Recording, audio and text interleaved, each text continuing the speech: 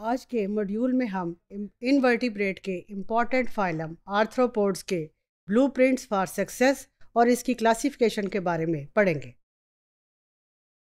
Arthropods में एक important animals हैं कॉपी कॉपीपोड्स कॉपीपोड्स जो हैं they are very successful animals on the earth basically ये एनिमल्स जो हैं, ये वाटर के अंदर रहते हैं फोटोसिंथेटिक प्रोडक्शन इनकी बहुत ज़्यादा होती है और उस वजह से ओशंस के अंदर फोटोसिंथेसिस की वजह से ये बाकी रहने वाले एनिमल्स के लिए भी खुराक का ज़रिया बनते हैं।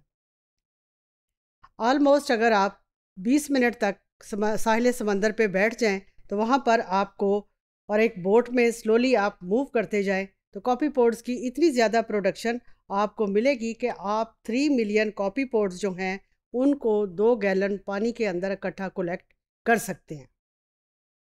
कॉपी पोर्ट्स जो है, जैसा कि मैंने बताया, फोटोसिंथेसिस होगी, फोटोसिंथेसिस से फ़ूड प्रोड्यूस होगा। तो कॉपी पोर्ट्स जो हैं, समंदर में रहने वाले बहुत सारे जानवर, जिनमें fish, herring, sardine, mackerel whale shark, mammal, blue whale या इस तरह के जितने भी बड़े एनिमल्स जो कि समंदर में रह रहे हैं, कॉपी पोड्स उनके लिए फ़ूड का एक इंपॉर्टेंट सोर्स है।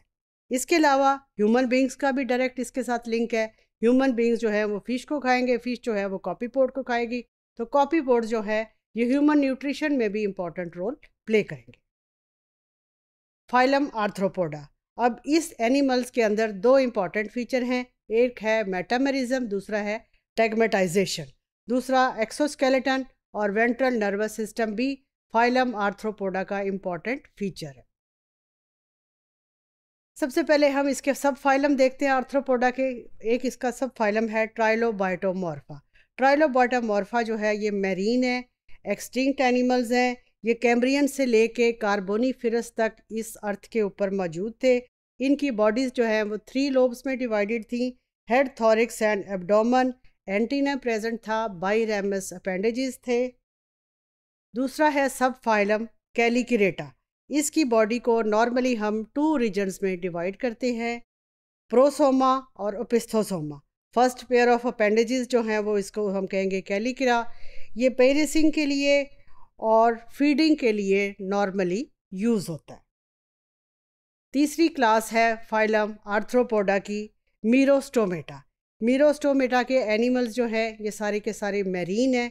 इनका इंपॉर्टेंट फीचर ये है कि इनके अंदर बुक गिल्स है. बुक गिल्स जो हैं वो पिस्थो ओपिस्थोसोमा रीजन में मौजूद हैं। इसकी दो सब क्लासेस हैं यूरिटीराइडिया जो कि अब एक्सटिंक्ट हो चुकी है, और दूसरे इस आर्थ्रोपोड्स के अंदर जो एनिमल्स थे, उनको हम जॉइंट वाटर स्कॉर्पियंस या जाइफोस्यूरा हॉर्स शू क्रैब लिम्बोलिस जो है, वो इसकी इंपॉर्टेंट एग्जाम्पल्स हैं। फिर है क्लास एरिकनीडा क्लास एरिकनीडा के एनिमल्स जो हैं, ज़्यादातर टेरिस्ट्रियल मोड ऑफ़ लाइफ रखते हैं। इनके अंदर बुक लंग्स हैं, ट्रिकिया है। इसके अलावा four pair of walking legs मौजूद हैं। स्पाइडर्स स्कॉर्पियन स्टिक्स, माइट्स, इस एनिमल्स जो हैं, वो इसकी इंपॉर्टेंट एग्जाम्पल्स। फिर है क्लास पिकनोगोनिडा। इनके अंदर इंपॉर्टेंट करेक्टर ये है कि इनका एब्डोमन जो है, वो रिड्यूस शक्ल में होगा। कोई स्पेशल रेस्पिरेटरी या एक्सक्रीटरी स्ट्रक्चर्स मौजूद नहीं है। Six pairs of walking legs हैं और ये एनिमल्स ओशंस के अंदर मौजूद हैं। सी स्पाइडर जो है वो इसकी इंपॉर्टेंट एग्ज़ाम्पल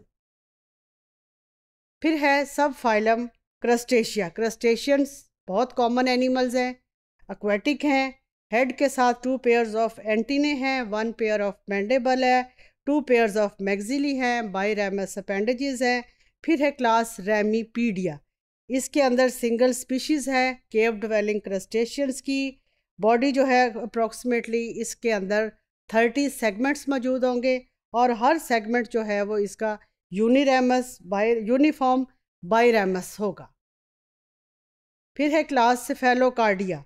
ये इसके अंदर स्मॉल एनिमल्स हैं जिनका साइज़ नॉर्मली थ्री मिलीमीटर होगा, मेरीन है, यूनिफॉर्म है, लीफ लाइक है और ट्राईरेमस अपेंडेजेस इसके अंदर मौजूद है। अगली क्लास है क्लास ब्रैंकियोपोडा इसमें फ्लैटेंड लीफ लाइक अपेंडेजेस वाले एनिमल हैं और ये अपेंडेजेस जो है they will be used for respiration filter feeding का प्रोसेस कॉमन है लोकोमोशन का प्रोसेस कॉमन है।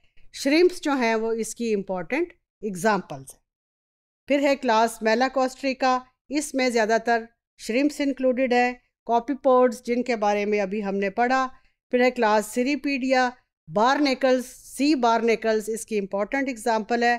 सब फाइलम यूनिरेमिया इनका इंपॉर्टेंट फीचर ये है कि इसके अंदर सिंगल पेयर ऑफ़ मैंडेबल्स हैं। अब इस डायग्राम से हम आर्थ्रोपोड और उसकी क्लासेस को एक्सप्लेन कर सकते हैं। इसकी इंपॉर्टेंट सब क्लासेस जिनके बारे में हमने पढ़ा, वो थी क्रस्टेशिया, डिप्लोपोडा, काइलोपोडा, एरिकनीडा और insect.